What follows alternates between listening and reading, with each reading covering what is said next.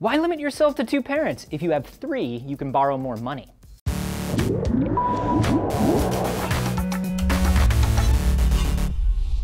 Anthony here for DNews, and as complex and wonderful as the human genome is, your options for getting DNA are limited. The best you can be are the good parts of your mother and father, and even that happens rarely. You're bound to get some of their junk bits thrown in there too, right? Like, I've got my mother's bad eyesight, and my dad's weird kneecaps, for example.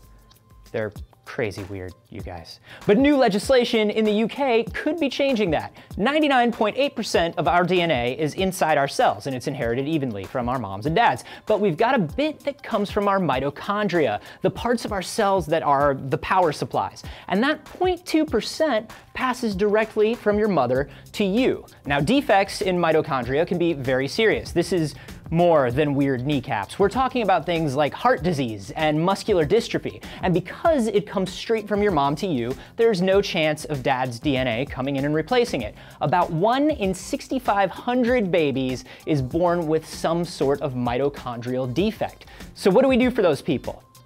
Add a third parent to the mix. Use a specialized type of in vitro fertilization where the genetic material from the mother's egg is placed into a donor egg that's had its own genetic material removed. And then it's fertilized with the father's sperm, and the baby still gets its physical traits completely from its mom and dad. But that 0.2%, that trouble-making mitochondrial DNA, is from the parent who provided the donor egg. Two moms, no weaknesses. This sounds great. Do we have this?